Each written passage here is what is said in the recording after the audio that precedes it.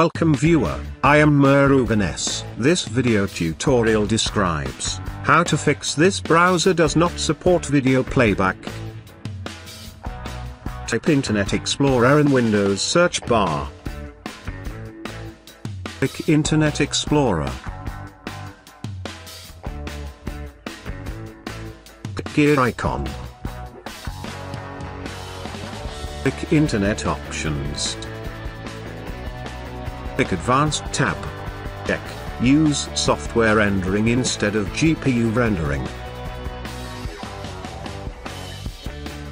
Click Apply, OK.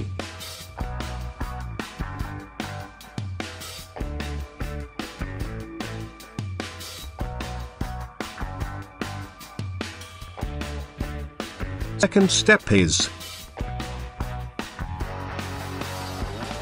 Make sure to check your computer is installed Flash Player. If not installed, download and install Flash Player. I hope this video tutorial helps to you, please like, share and don't forget to subscribe my channel. Thank you very much, see you next video.